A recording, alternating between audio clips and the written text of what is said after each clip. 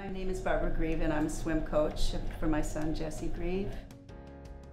First I thought it was um, really interesting with the honeycomb technology to protect the head from impact because recently a friend of mine's son was really seriously hurt by um, backstroking and hitting his head, and I'm, I was thinking this could have, this could have totally avoided that. It it took him a year to recover. The thing I like the best is the fact that it protects the swimmer.